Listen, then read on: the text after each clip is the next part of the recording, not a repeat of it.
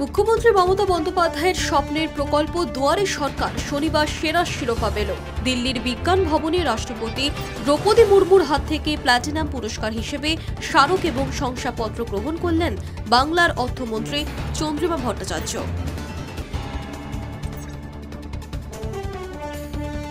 পাকা বাড়ি সত্ত্বেও টাকা নিলে ফেরত দেওয়াবো। নন্দীগ্রাম থেকে হুঁশিয়ারি দিলেন শুভেন্দু অধিকারী। বললেন, আগামী সপ্তাহে আবাস দুর্নীতির তদন্তে রাজ্যে আসছে আরও পনেরোটি টিম।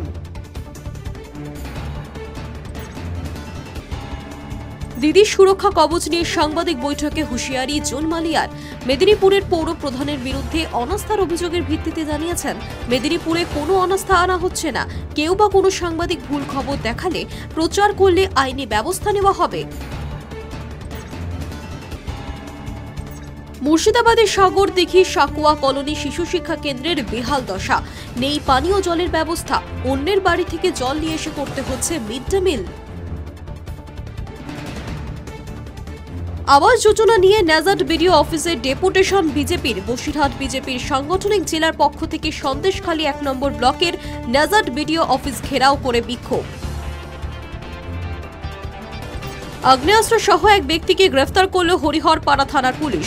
ধৃত ব্যক্তির নাম মমিন আলী। তল্লাশি চালিয়ে উদ্ধার হয়েছে একটি আগ্নেয়াস্ত্র এবং এক রাউন্ড গুলি।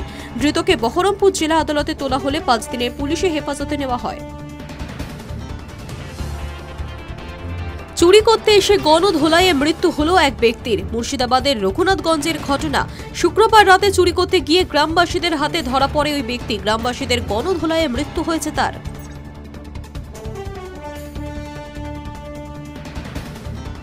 দীঘা মোহনায় দেখা মিলল বিরল প্রজাতির কচ্ছপ। গত কয়েকদিন ধরে দীঘা সমুদ্র সৈকতে মৃত অবস্থায় ভেসে আসছে এই বিরল প্রজাতির কচ্ছপ। মৎস্য দপ্তরের পক্ষ থেকে এই বিরল প্রজাতির কচ্ছপকে ধরা নিষিদ্ধ।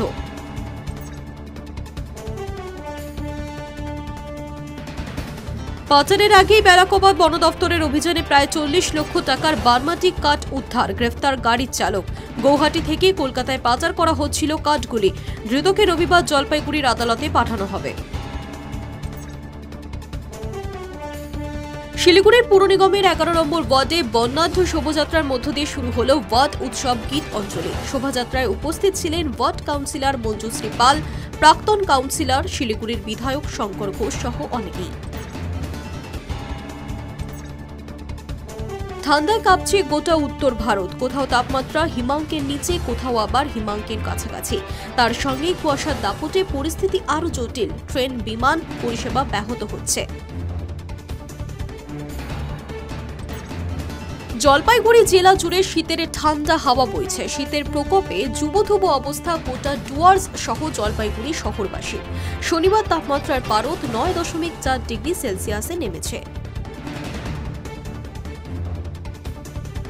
জানুয়ারি শীতে কাবু কলকাতা, উত্তরে হওয়ার দাপটে ওঠানামা করছে তাপমাত্রার পারদ। কলকাতার পাশাপাশি রাজ্যের বাদবাকি জেলাতেও জাঁকিয়ে ঠান্ডা।